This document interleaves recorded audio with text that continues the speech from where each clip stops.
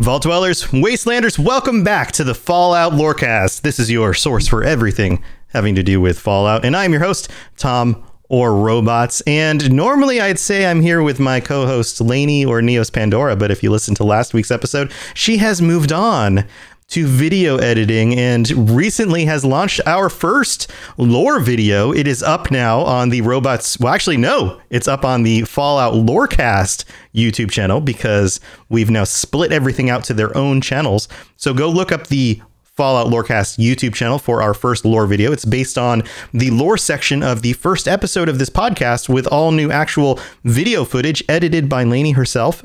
It looks awesome. We've been getting some very very positive responses to that video. Go check it out. And if you want to do us a favor to help that get that channel growing please go watch the video watch it all the way through give it a like give it a share comment on it. Youtube doesn't know what to do with new videos and new channels until enough people actually watch the video. So please go check it out. But um she did an awesome job and you know comment on there and tell her she did an awesome job. She would love to hear it. But we're back with a new episode. And when i say we i mean me and my guest host for today's episode episode, Dave Laney Chafinz. two. Laney 2, also known as Dave Chafinz from West Virginia and the internet, and the Starfield Lorecast, my co-host from the Starfield Lorecast. Welcome back, Dave Chafinz. You've been on the show before. People might remember you from mm-hmm. some episodes. Mm-hmm. How you doing, buddy? Also, oh, doing- also the the Fallout Hub. Man, we do so many things together. Like we're just listen, we're holding hands constantly. Like people people may start wondering, people may start suspecting something. We're both married men, so we need to You know- we need to chill out maybe sometime. There are there was a time and there are cultures where it's okay for married men to hold hands and skip through the fields, you know, the lilies and things. It's that's okay. It's totally all right. fine. It's all good and dandy. But I've been, I've been doing well, man. Uh, I'm glad to be back on. Um, and this time not strangely talking about Mothman. This is like Yeah. normally when you it's kind of like uh, ghostbusters like when there's a ghost you call ghostbusters it's like when tom wants to talk about a mothman he calls me but we're not talking about that t- today so maybe i'm good for other things who Yes. Yes. Well, we're gonna find out. This is this is the challenge here. Is are you good for anything other than Mothman? yes so i like it So we're starting a new series for the show because we're moving on from some of the stuff we were doing before. We're going to put some of the Fallout New Vegas lore on hold. There's plenty of more lore to talk about with New Vegas. Heck, there's plenty of more lore to talk about from any of the Fallout games, but that that stuff will come. The time will come to talk about that stuff because it's nearing the end of the year and I want to piggyback on one of the coolest series that came out this year, Marvel's What If series. If you watched the What If series, you you might have enjoyed it. It it was a, a concept where they took uh, and they animated some ideas around what if some of the concepts around the Marvel movies were changed around a little bit. What if there was an alternate universe where things didn't happen the way we knew them to happen? And we're going to play with that concept today and in some of the future episodes of the show and I hope you guys enjoy it and I want you to go along with with us on this on this mental journey because there's a lot of significant points and significant things that happen in the story and in the lore of Fallout. One of them has to do with the vaults. And today's question is what if the vaults were safe?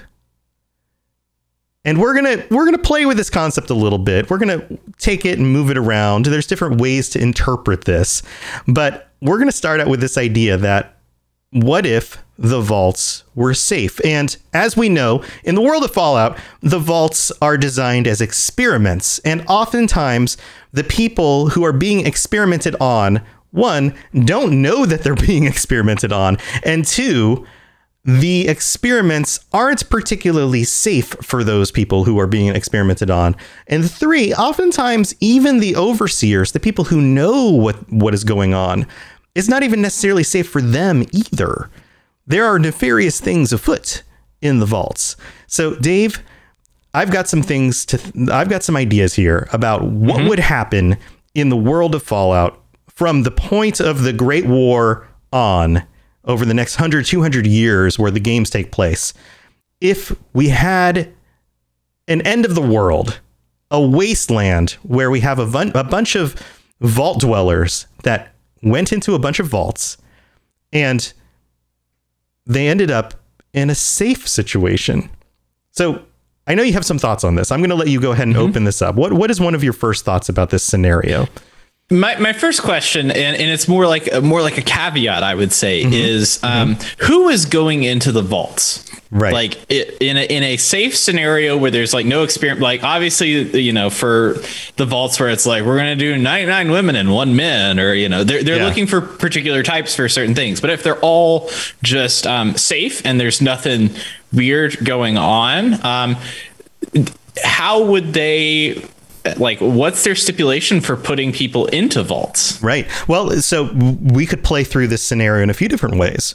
One mm-hmm. could be that there are no experiments happening in the vaults. That would be 100% safe, right? A second scenario would be that experiments are still happening in the vaults, but they're only happening with the expressed approval of those people being experimented on. That it, there's no surprises. The people who are being experimented on are going into those situations 100% knowingly. They know what they're going into. They know they're signing off on it just like just like any like ethically moral experiment in today's society you you go to the university they give you a paper it explains exactly what's going to be happening what things you're going to be aware of what things you're not going to be aware of you're signing off on it and you know that in, in the end that they are they will call off the experiment if ever anyone's safety is in question right? So in a so in a, in a scenario like you're explaining here like with the you know 99 women and one man there would be safety uh, restraints in place.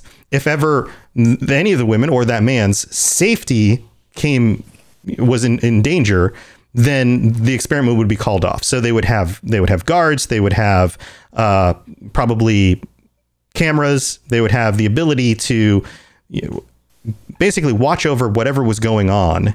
And should any of the people in the experiment say use a safe word or hit a button to say i feel threatened in this moment they would call off the experiment in that moment right then. Right. for for whatever the duration of the experiment is. So in that in that scenario it would be 100% safe. They could call off the experiment at any point. I think I think that's a good point, and I think that um, I, I, I guess the thing that would initially, even before you start cracking open vaults at, at like after the war, whenever you start cracking open vaults, there's automatically an us and them mentality of people that go into the vaults and people that stay out, and you see Right. that at the beginning of Fallout 4 with the um, Vault-Tec uh, sales rep, right? Like Yeah. he is very, he's like, hey, wait a second, I work for you all. Why can't I go in there? Right, I want to go in there. yeah yeah hey let me in let me in yeah Right. Yeah, they won't let him in. So, so point one, I guess, is that it doesn't solve an us and them mentality. You still have the people who go into the vault, and you still have the people who don't.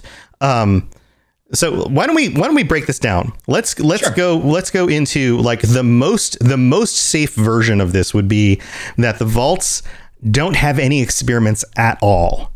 They are exact exactly what the public would expect them to be. They are homes underground that are safe from bombs. There is nothing else going on than just safe places to go and based on the societies that you live on underground when the society underground deems that it is safe to come back to the surface, then you can go back to the surface. It's as simple as that. How would the world change? How how what would what would the events of say Fallout 1 or Fallout 3 or Fallout 4 or 76 be like if that was what was going on? I think that I think that uh, if we're taking like a player character, like like if we're, we're saying the player character from four, or three, or New Vegas or whatever um, comes out, he's got his vault suit on and is starting to talk to people. People are going to automatically think that this is some rich guy. Like this Yeah. is a guy that we have all been out here like surviving where like half of us are ghouls. Some people got taken by the super mutants. Other people are being kidnapped by raiders and, and, and what have you. And from that from that starting point like in the in the games like they're always curious. They're like what kind of experiment did they do with you in the vault? Because everybody knows that the vaults were experiments. And so without that caveat i think people are going to be way less um uh, trustful and have way less social capital with people that are vault dwellers after they open up Right. Do you think that the the uh, surface dwellers, the uh, the wasteland, we'll call them just wastelanders, would see the vaults once. w- I mean, they would know the people who were surviving would know that the vaults in that case are extremely valuable. I mean, there's that sense of like, oh, if you can find a vault and get into it, then you're you're going to be safe. But most of the time they can't. But as time goes by and more and more vault dwellers are showing back up on the surface, and they aren't crazy and they aren't, you know, like coming out messed up because over time they are. But in this in this case, they're not. They're well fed. They are basically psychologically well kept in more more likely than not. Um, these are treasure troves. Uh, the, chances are that the the vaults themselves are better designed to survive because they're not designed for experiments. They're they're they're not lacking water like some of the vaults are, or lacking power and you know set to break down, or have all of a certain type of person and not enough of another type of person, or lacking engineers, or like you know whatever. Have music repeating over and over again, or you know any of the weird experiments that are going going on. So they are treasure troves of food and power and water and all sorts of things on the surface wouldn't wouldn't the wastelanders be like constantly seeking out vaults in order to get in or to take them for themselves That that's a that's a really good point, and it makes me it makes me wonder how like how vaults would assimilate into culture. Like if I'm thinking about like points of resource, if you're opening up into a wasteland, and I've had a I've had a, a genuinely good experience. I've had a like five star review on Yelp at, at the at the local vault. I'm most likely going to continue to live in the vault, except be a part of society itself. It's almost like uh, a, a big uh, apartment complex, like in, in that aspect. Like if if if I'm somebody like that, I'm like, yeah, like if for if vault 76 opened and we're allowed to just live in it like everyone would just live in vault 70 like Yeah. everyone would just hang out because there are uh, power there's running water there's um, a lot of resources there and to me like i think that even though like wastelanders would be looking for that stuff i think that people with the vaults would have enough insight at least into maybe sociology or economics being like hey we've got to do this slowly over time Mm-hmm. and say you know we're not just going to open the doors one day and we're all going to like pop out. It's like we've got to take a few people at a time figure out what like set up some trading. Essentially you're making your own town at that point. At least from my perspective that's what i think would happen. I don't think that people would set off and because a lot of people leave vaults and are like yeah that place sucked. I'm never going there again you know? Yeah. Yeah. Yeah. Well, I, I would assume that the vaults would then have their own means of uh, creating food. I mean, o- often they have their own power sources. They have their own water purifications. They would probably have their own hydroponics uh, food, Right. food, you know, to be able to maintain that. Also, they would have their own engineers to maintain a vault for long periods of time and to pass down education to from generation to gen- generation. Uh, one of the thoughts I had is that they would probably leave the vault. Let's say you're in a vault and you decide that you're not going to leave or you're going to test leaving each generation. Let's say every, even maybe even every 10 years. You send scouts out into the world and they they come back and they go, "Nope, still dangerous out there. Not worth not worth heading out." And at 50 years later, "Nope, still dangerous out there." 100 years later, "Yeah, still dangerous out there." Eventually, at what point do you start expanding the vault? At what point do you just start mining out more passages underground?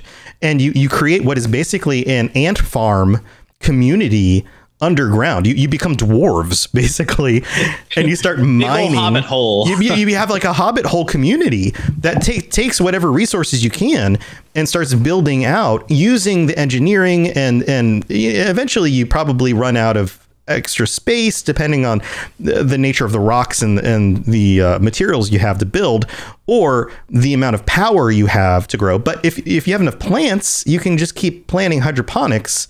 If you have enough water you can just keep on using more water. But at some point you run out of resources and then eventually you have to expand into the surface or you have to limit the amount of children that you can have that's that's the point where you have to expand onto the surface. Then all of a sudden you're dealing with people in dire circumstances who aren't afraid to take what you have. That's where you come across the raider gangs who are a threat. And that's where you come across like this dilemma of like how do we expand on the surface? Um the next step I would I would start to consider is do the vault dwellers and and many vaults are actually in fairly close proximity to each other.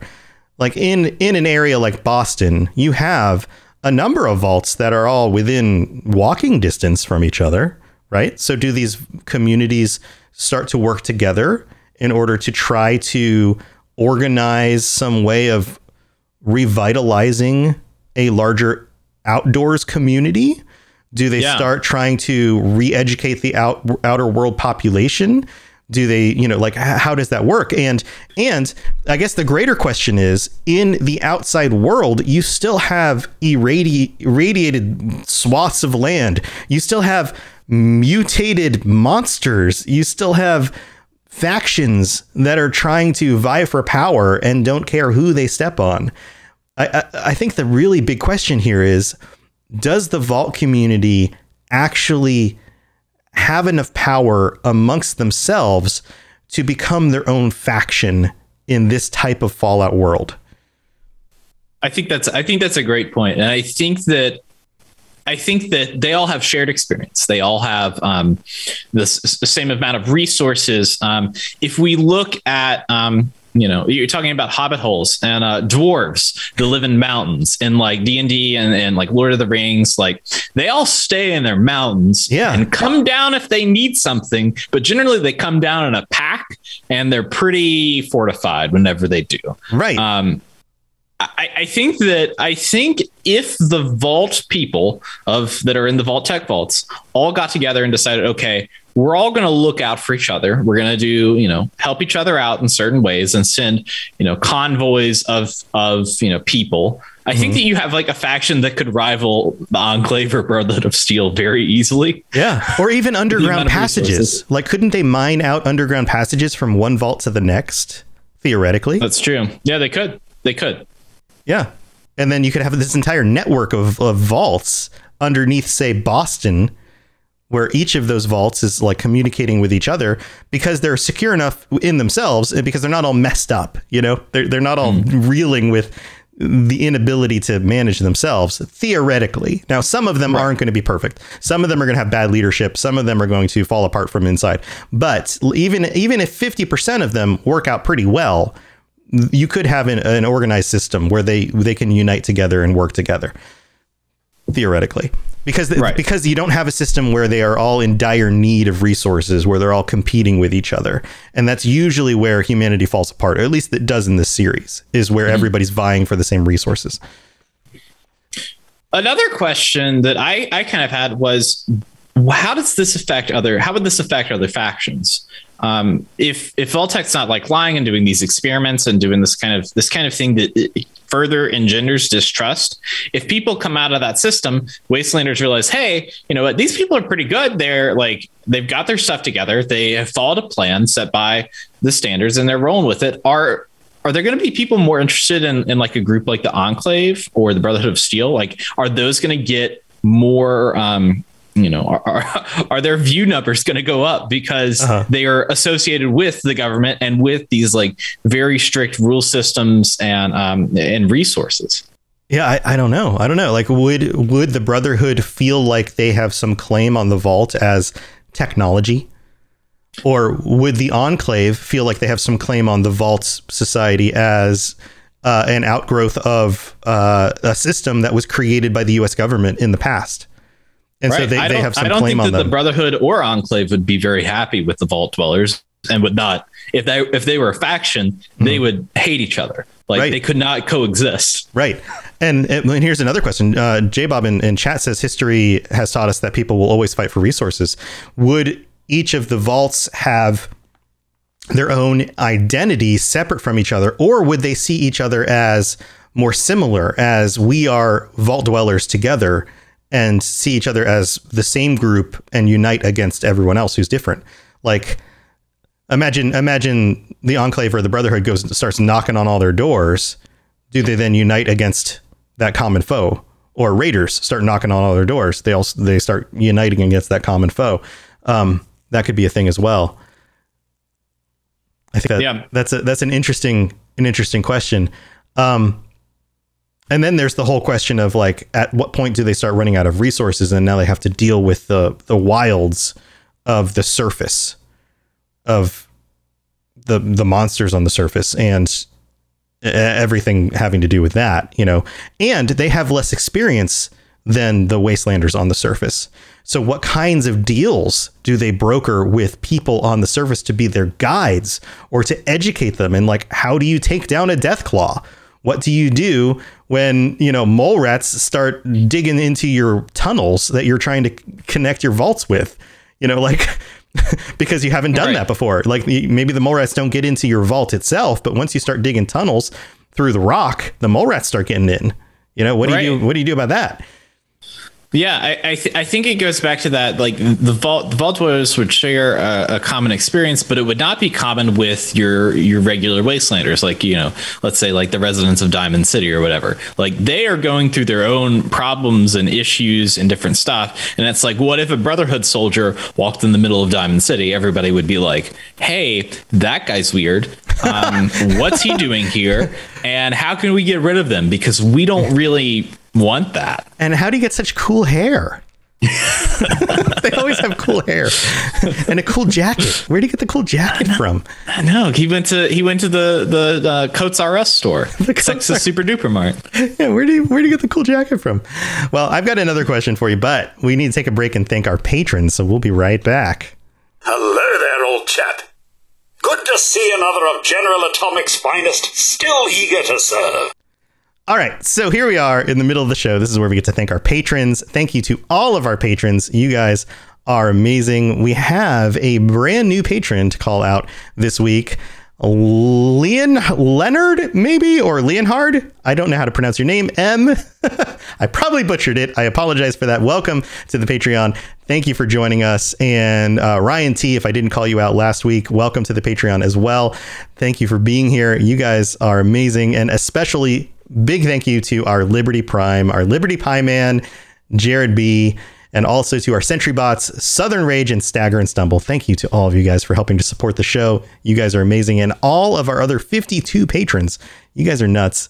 Thank you so much for supporting the show. And if we've done anything to help you get through your workday, your commute, your workout, or planning how you're going to manage all of those awkward conversations with your family this Thanksgiving, then check out patreon.com slash falloutlorecast and check out all the different tiers. Like, you know, tier four, where you get merch, t-shirts and stuff, or maybe even just tier one or two, where you get ad-free episodes and episodes early, or, you know, some of the higher tiers where you get call outs every week and get join us on future episodes of the podcast. Speaking of uh, future episodes of the podcast, the end of the week or end of the month chat episode will be coming up on the 30th, Tuesday, the 30th at 9 p.m. Eastern, our end of the month chat. So let's be talking about that on the Discord, what you guys want to talk about coming up very soon. So just two episodes away. We'll see you guys in a little bit for that. And we also have a brand new review. This is this is a real good one here. We have um actually did I did I read Beelzebub's review last week? I don't think I did because Lainey and I were so busy. Did I read this one from you, Beelzebub? Uh Gandhi's Gonads. This is Beelzebub's. Uh, Beelzebub is one of our, our regulars in chat. That's his um That's his Apple podcast name. Uh, message from the waste, five stars. In a world filled with pesky raiders and feral ghouls, emerges uh, one man from the vault to give us the podcast to help us crawl out from the fallout.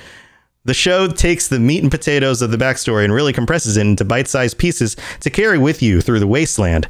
Fun, informative, clear, and concise. Robots with zeros, thank you, Beelzebub, will aid you across the wasteland and teach us the boundaries of our knowledge and self, as well as the Fallout universe. And his name isn't Captain Danger Robots. I always, or his name isn't Cap. I messed that up. I'm so sorry. or his name isn't Captain Danger Robots. I always look forward to your streams, podcasts, and content in general. Thank you for being a contributing factor to making the day great. You help reset my brain and are actually great for my general mental health. Oh, that's awesome, dude. Thank you for such great content and being a general great human being, man. I know it may not mean much, but I consider you a friend, mentor, and all around stand up gentleman. I look forward to taking in more content in the future. Thank you for taking time out of your day to respond to me and so many of us out there. See you in the waste. Beelzebub88. Bub, super nice comments, dude. Thank you so much for that and for taking the time to to leave the review on Apple Podcasts. That's awesome, dude. And then we have, an, man, you guys are leaving really long reviews. Um, thank you so much for these. We have uh, Kilted Stag in Great Britain who wrote in and uh, left a review on Apple Podcasts and says, just as important as a Pip Boy, five stars. Only found this podcast two weeks ago on Spotify and haven't fully caught up yet haven't fully caught up yet. We've got like 170 something episodes.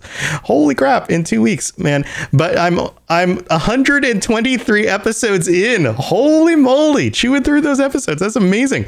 But I had to set up an iTunes account just to review it so others can find it. Dude, that's awesome. So thank you so much.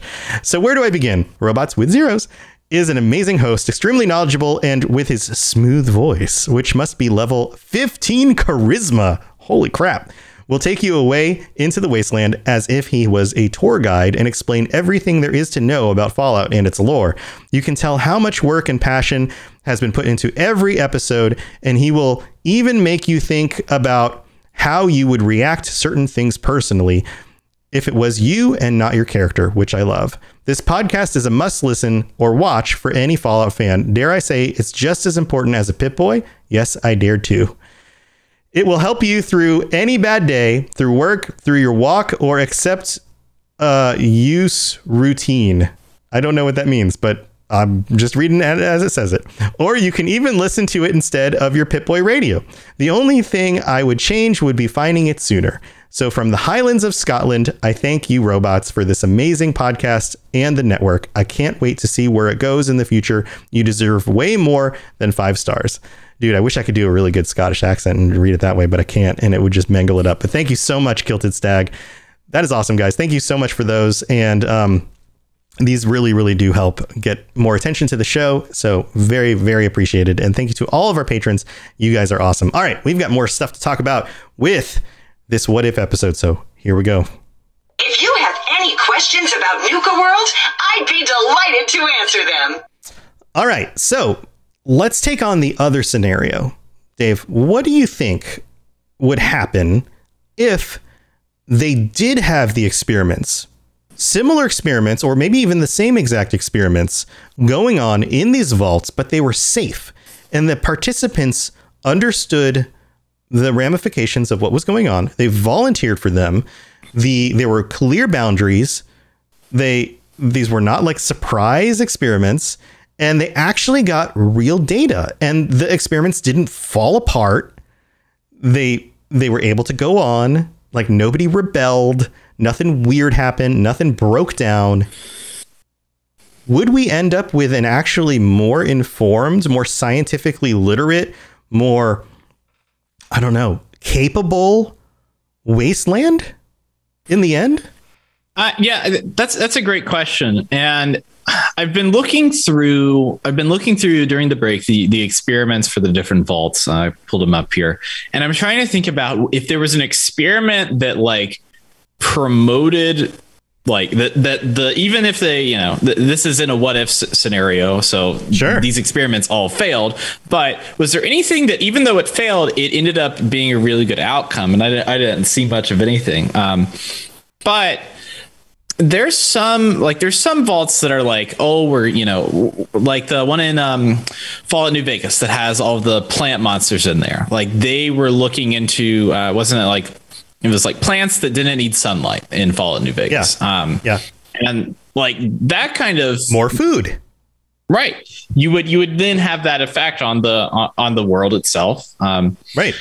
More food. Uh, what about like the the cloning experiments Right. Yeah. The, the cloning experiments. Um, the um, what The the, ability with to- uh, Stradivarius from that was in the the VR, the, the Yeah. little egg pods. Like, would Yeah. people just be living in the egg pods? Like, oh, come on in. We've got more egg pods for people. Come in here and be in. You know, maybe join Maybe. join Mark Zuckerberg in the metaverse. Um, or, or or but like imagine if people were going into these uh, VR situations and able to test scenarios safely in a VR situation, then they could be testing out ways to say take on creatures that would be too dangerous to fight, or designing weapons uh, without necessarily needing the resources available for them in that situation. You know, there's there's a lot of things you could be testing in a Mm-hmm. in a VR environment theoretically without necessarily needing the resources to do it in the real world and then getting the resources once you've thoroughly tested it. Right. Assuming that they have the engineering and the coding to, to make it as realistic as possible, right? So, um, but if you're doing like the um uh, the the Mars experiment that um like people will go out in the desert and and seal themselves off and be like okay we're gonna act like we're on a Mars colony and for a month we're just gonna live out here and wear the spacesuits and and and make our own food like we're living on Mars. Um, I, I think that you would be more likely to have that stuff in the years after the vaults close if they were to you know okay this is the experiment we're gonna run people through like survival training let's do combat training Yeah. like they have Yeah. all the like from um uh the broken not broken steel but the the one where they go to Alaska and Fallout 3 uh, yeah, yeah, yeah. Um, yes, I know. what you're talking Operation. Anchorage Yes, yeah right. um like that is like essentially like a, a Call of Duty game within Fallout 3 but that's also combat training for people that Right. oh I can go in there and and do this thing and it's no big deal Right. like I can just um, know, shoot people and, and, and figure out how to work a gun and figure out like what's a tactical maneuver for this kind of stuff. That way, if you're going out into the world, um, you are way more informed from a you know uh, not necessarily a hundred percent practical perspective, but probably the best that you can do. Well, an So, informational perspective, tactically with your mind, you could be trained into how to like. What if the Vault faction's armies were actually more mentally trained for combat against the things in the wastelands? And like you said, when the dwarven hordes came down from their mountains, they were actually very formidable because one, they were armed with pre-war weapons that still worked because they kept them in good condition in their vaults. The engineers kept them working, and then they were also trained tactically and prepared because they were in VR situations where they got to train themselves mentally with how to how to move in formation, how to not injure each other or shoot people who were on the same side. You know, like weapons can be very dangerous. Uh, If you've ever gone to a gun range and you've shot a gun, like you actually have to practice doing it. It's not like it's not like Call of Duty where you just point and shoot. Like guns require training. They, they there's a lot of uh, kickback in it. They they hurt. Like the uh, the amount of kickback a gun has in your hand is, is physically exhausting when you shoot it regularly. Um, you have to reload. There's coordination involved. There's a lot to wielding a weapon. Um, right.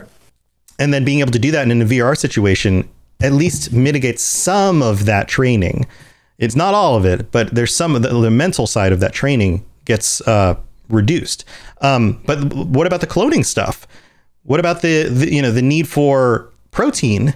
If you can clone Brahmin in the wasteland, then all of a sudden you have enough protein to feed everybody. You know, and, and you, you don't need to cr- clone Gary anymore. You're not going to have Gary running around, but but you get a bunch of Brahmin running around. It doesn't matter if they're all the same. You know, Betty the Brahmin. right over and over but- again. and like even if you're cloning gary like what if you've like deduced a like super soldier kind of situation and essentially you have vault stormtroopers that you, you- it's like star wars and it's like attack of the clones it's like all right you know what these guys are our infinite army that we can just like power up whenever we want to Send against the Um, and super mutants. the, the, the army of Garys. Um, that's that's episode two. Uh, Attack of the pew, pew, Garys. Gary, pew pew pew. Oh man, somebody needs to make a Gary combat mod where they're all like weaponized and you can send them against enemies, and they just they just all, they only follow like attack or like run away. Like those are the two. It's it's not retreat. It's like run away in a Monty Python away. film. Run away, Yes. and they all go Gary, and then they run away. Yeah, I th- I think that there's some experiments that would be interesting to see be like done and not ha- have like the weirdness of like oh I'm gonna you know cosplay as a little girl that also is trying to kill everyone in the simulation. Sure. Like if you were to go into those and say okay. This is a thing, but there's other experiments like um, where they had to sacrifice somebody every year, and that was just the experiment of it. Yeah. Um, that that there's no way that to walk away from that and be like, you know, that was a great time. We all had fun. We all just Right. that was a pleasant experience. Yeah, that's more of a no way. psychological. You would find out psychological, and I guess you you could end the experiment like at the decision before they actually have to follow through with it. and Mhm. then take another group and like subsection the groups. And there's ways of doing that safely, but you would quickly learn some things about humanity that might change the way that you uh, organize your government structure. That might Could change be. I- things. Yeah, now that you put it that way, it's like a, a- like a reality show. Like at the end of every week, somebody gets voted off of whatever it is. Right. Um, yeah, and they disappear for the group, and maybe the group thinks they've been killed until Yeah. the experiment's over. it's it's like Survivor, and they get voted off and have to live on a separate island away from people, and then oh surprise, they're back Right. the old island. Oh, they're back. They're back in the Right. vault. what do we do now? Um, yeah, yeah, there's there's ways that you could. I I think there are things that you could probably learn from each of these vaults because each of them were designed around some specific thing they were trying to trying to learn, and that knowledge could be used in in ways that could be beneficial potentially. Um, some vaults more than others. I guess the big question then is assuming that the vaults are safe and they're acquiring all of this knowledge, they have better use of food, better use of weapons, better use of um, heck, even even some of the um, uh, the uh, what was it? What are they called? The uh, the kits they have that like can grow food and The Garden of Eden creation. yeah, yeah, yeah, yeah, yeah. The GECKs. Um, like some of those were in vaults and ready to be used, and then they ended up like being misused or misplaced or destroyed, or you know, there's lots of somehow that. Harold got a hold of one of those, Right. and then it was a whole mess. you know? Right. Like if those were better used, you end up with a system.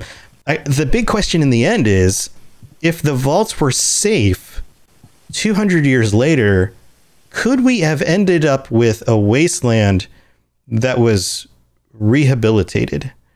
Would there have been zones in America where people were relatively safe? Would we have could we have created like walled cities where people were living regular lives, repopulating, maybe keeping the mutants out, getting Yeah. back to some semblance of a normal life. Could that have would this have been a solution to get us back to that? I think I think that's a great question, and it's hard it's hard not to get uh, you know to think about the politics of it because when I think about um, what are the the big threats to wastelanders out there, like of course there's ghouls and super mutants, but if you are a settler and you're trying to you know live in a ramshackle shack down by the Red Rocket Station, you're worried about raiders. And raiders are not a, a thing because of the vaults; they are a thing because of uh, they're kind of like extremist capitalists at that point.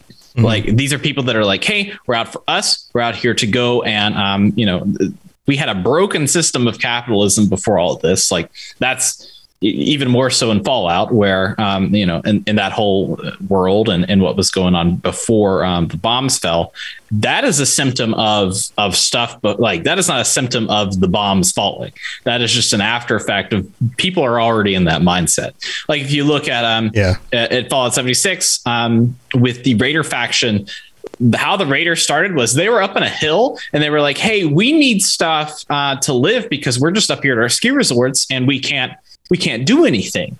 We don't have any resources up here, and so we need stuff from the the lower cities like Charleston or Morgantown in, in Fallout 76.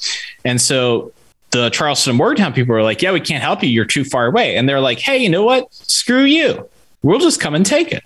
Like it, it- that that mentality isn't going away. So I don't think Right. I don't think that there's there would be a rehabilitation because you would still you would still have issues. You would have a definitely like a more likable faction like the the Minutemen. Like essentially they're just like a real nice Brotherhood of Steel. Like the Brotherhood of Steel can be a little a little weird sometimes and a little xenophobic. Uh-huh. Um, they, they would end up being likable like uh, the Minutemen or uh, the Railroad or the Responders. Um, you know, maybe um, uh, like you know this the city people, like the Diamond City people, are, are perfectly fine. The Yeah, um, there- there's uh, always- Rivet City people. There's always some there are some groups that have more altruistic uh goals, right?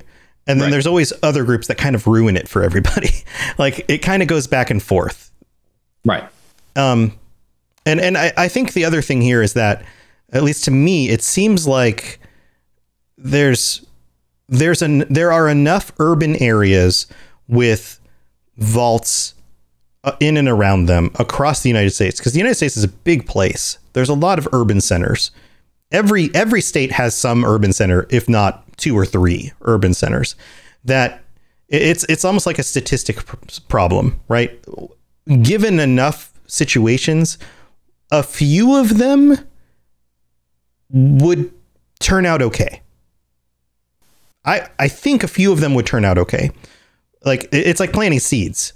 And Yeah. if you, if you walked around in like rough earth that was not very well tilled ground, it's not great soil, and you spread enough seeds, a few of those seeds would still grow.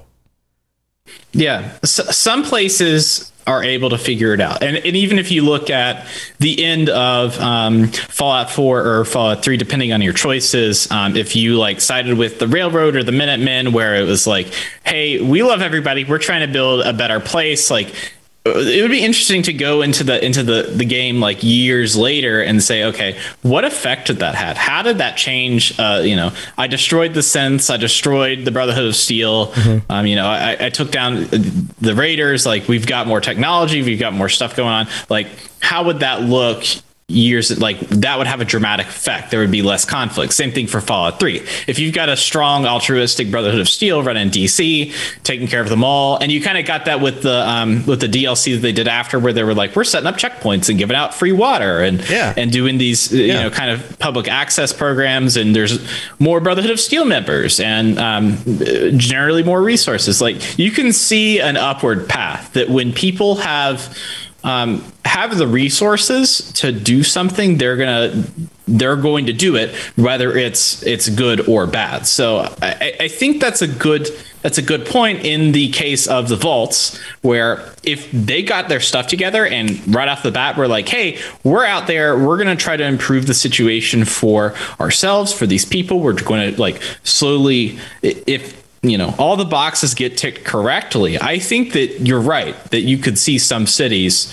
say okay you know what this is a pretty safe you know it's not the safest place to live but Sure. darn tootin' it's pretty good Yeah, because I mean, you see it with Vault 76. The overseer very much wanted that to be the situation.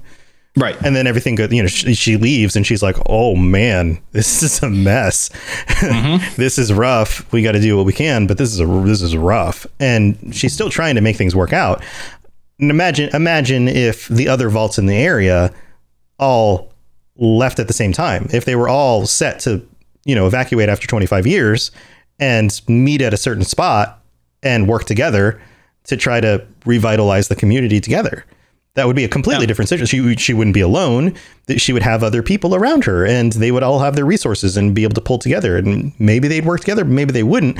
But if you multiply that a- across the country, and there are a hundred of these communities across the country, some of them will work out. Just statistically speaking, a few of them will work out. That's my theory on it, at least.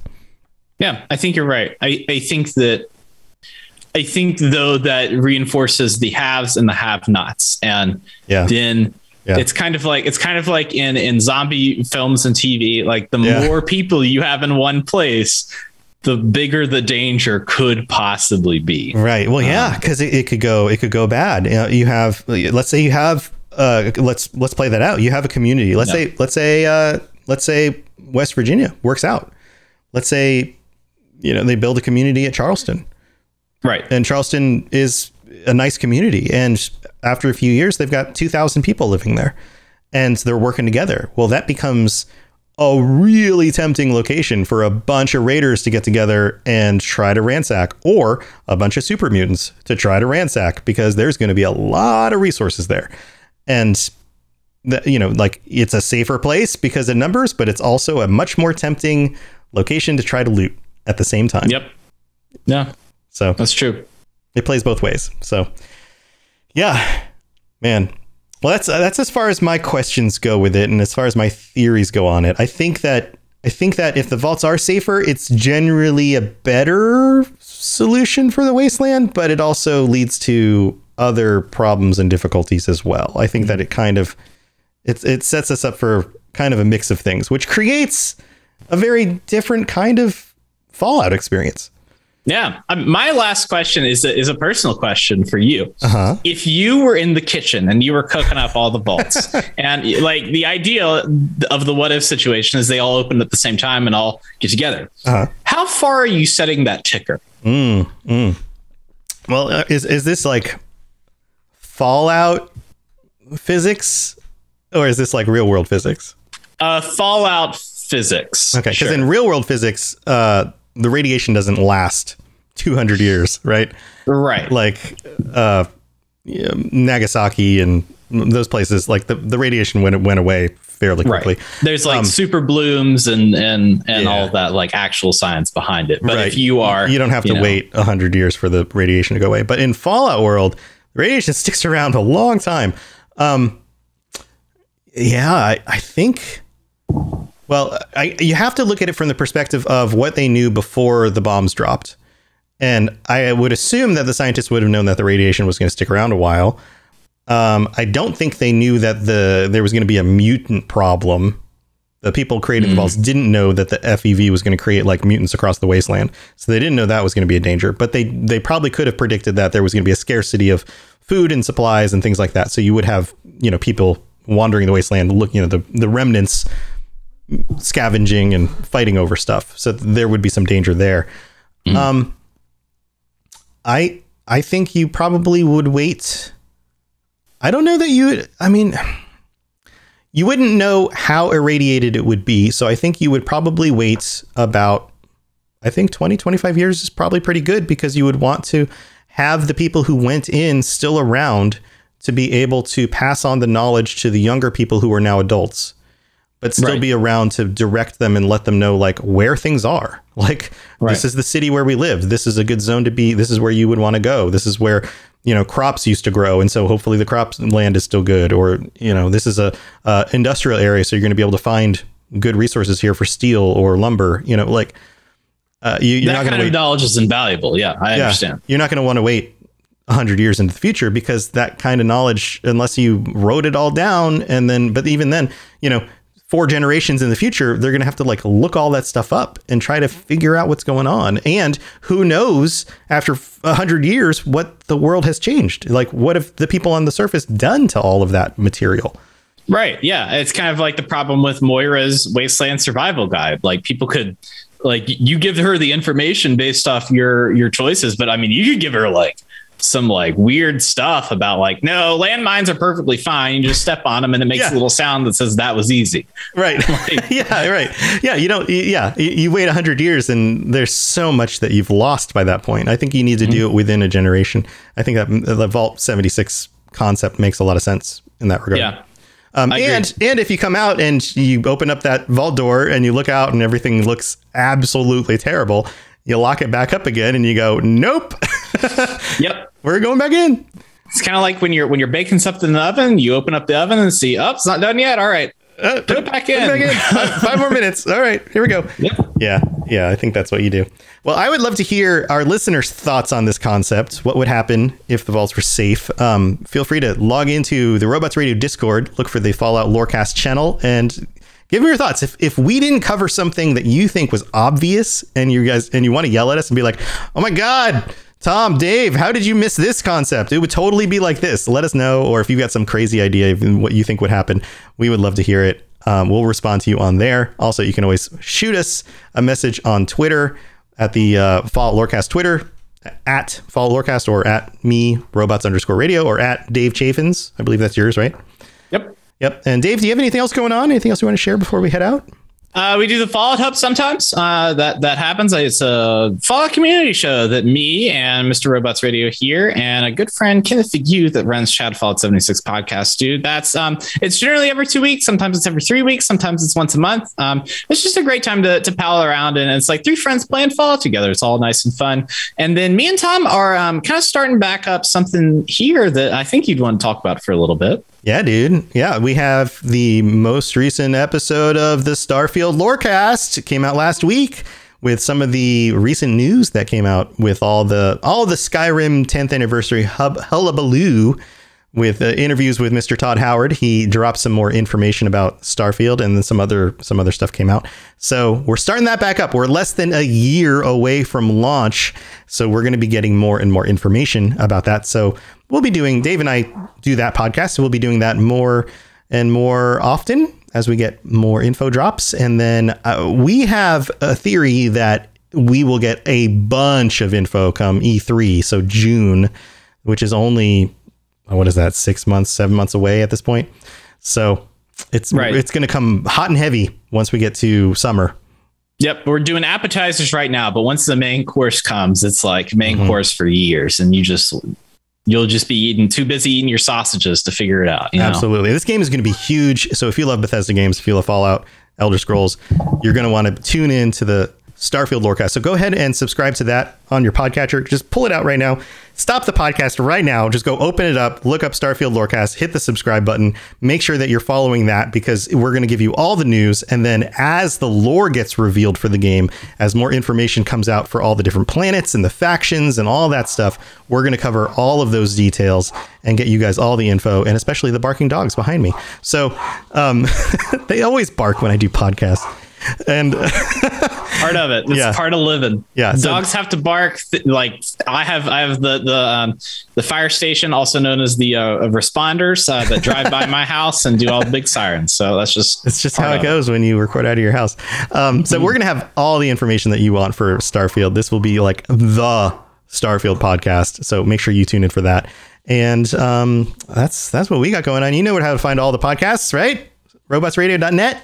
All the stuff going on. We've got lots of cool stuff over on the Robots Radio YouTube channel where I've uh, I've been streaming some uh, some Skyrim, except for because my brain decided to attack me this week with the worst migraine I've had in like months. So I haven't done much of that, but I've been releasing some uh, some mod videos for Skyrim, and then of course the Fallout Lorecast YouTube channel with uh, the new video that Lainey edited together. So you should go check that out and help us grow that channel. We would really appreciate it. So reminder to go check that out. And Dave, thank you for joining me. This has been super fun, dude.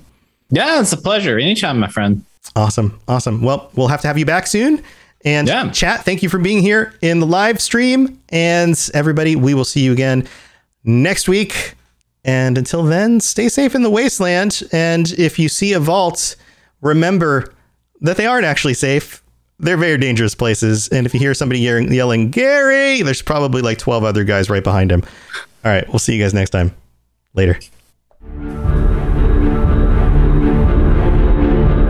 Plug into everything else we're doing, check out robotsradio.net. Also, look up the Robots Radio YouTube for videos about Fallout and other things. And check us out on Twitter, twitter.com slash robotsradio.